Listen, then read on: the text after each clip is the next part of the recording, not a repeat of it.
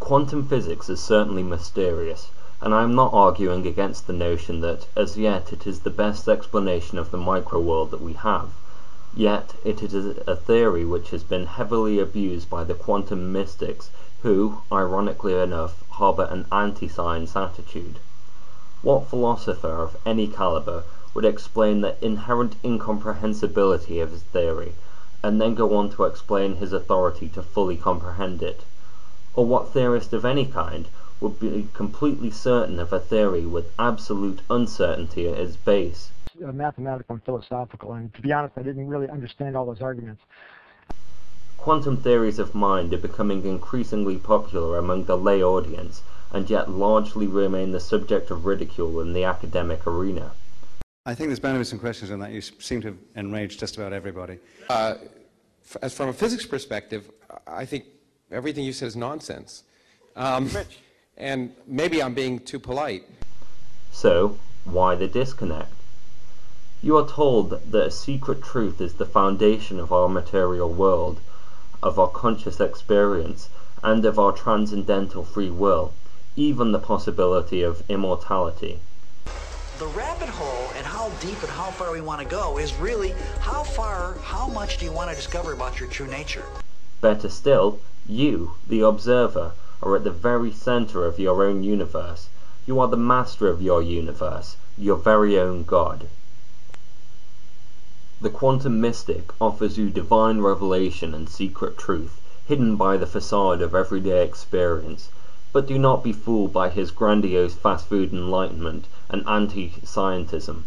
The so-called facts used to support this hypothesis are speculative at best, and the theory itself is monumentally erroneous. Now you're telling me that somehow the universe has what exactly that corresponds to my idea of justice? Uh, so we do seem to be exploring some fairly far-flung regions of hypothesis space today. Um, uh, so um, it seems to me that what you said is that gap junctions are required for the generation of the gamma oscillation and that the gamma Well, oscillation I- I is the neural correlate of consciousness. So if this is what you're saying, then it's extremely easy to test, and in fact, this test has been performed hundreds, thousands of times every day. The test that you would perform is to administer a drug other than an anesthetic that also has the side effect of blocking gap junctions, and look at the effect of administering this drug on consciousness.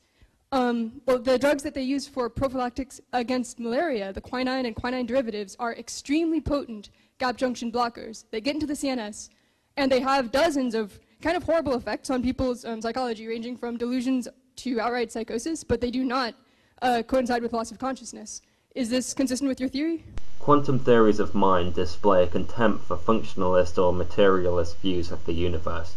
But what is quantum physics if not itself an explanation of the material world? They attack materialist views as being too reductionist, and then go on to assert that we can understand the nature of consciousness by understanding the behavior of the very smallest observed elements within the material world. Do not be seduced by the claims of the quantum mind theorist. At best his theories are egocentric, at worst entirely solipsistic.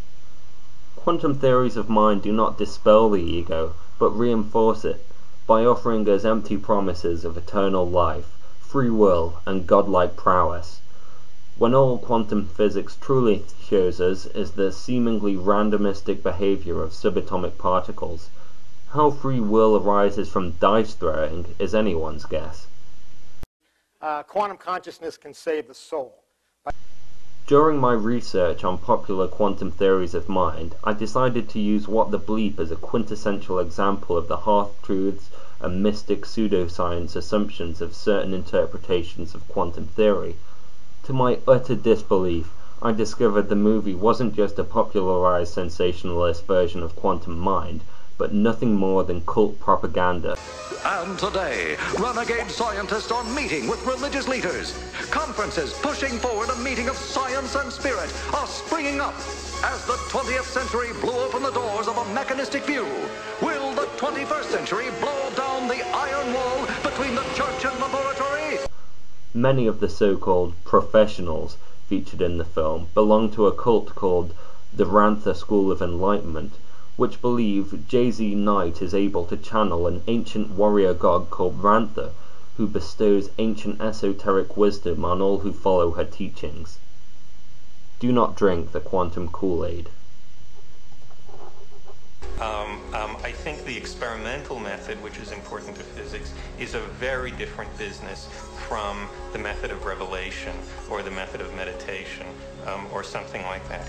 I don't think it's true that, for example, um, adherents of, say, Buddhism um, um, could imagine changing their beliefs based on the outcomes of, of some experiments people do with electrons.